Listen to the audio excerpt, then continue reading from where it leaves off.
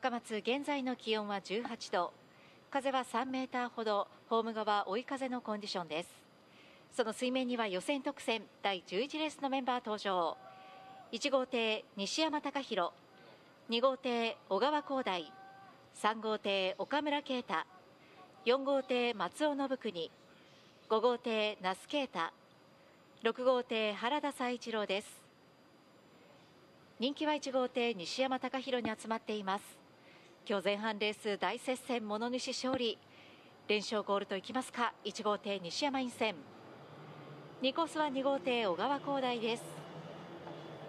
3コース3号艇岡村啓太。前半レース4着ではありますが前を迫る構想です。3艇後方に引っ張ります。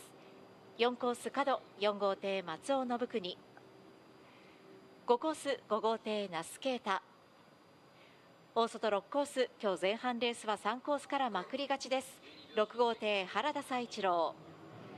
予選特選第11レース3対3幕なりです。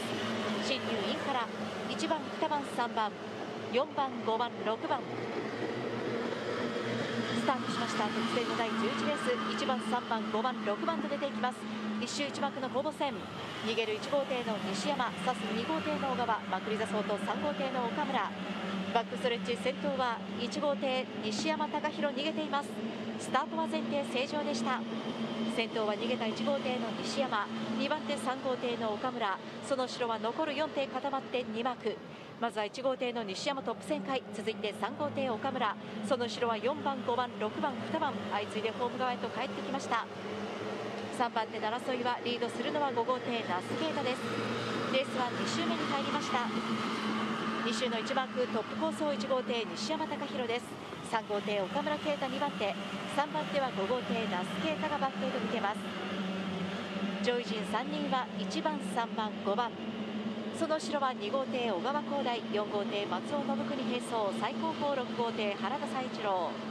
1号艇西山隆弘2周2マークここもトップで折り返してきます。2番手3号艇岡村啓太3番手5号艇那須啓太です。ホーム側上位の3艇変わりなく1番3番5番。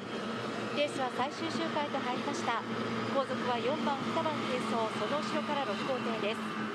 最終1幕1号艇西山トップです。2番手3号艇岡村3番手5号艇那須です。最終バック上位の3艇は1番3番5番。135であれば3連単のオッズは4.6倍。ラストターンマークの旋回です。しっかりと逃げました。人気に応えます。1号艇の西山が先頭。2番手3号艇の岡村。3番手5号艇那須。第11レースまもなくゴールです。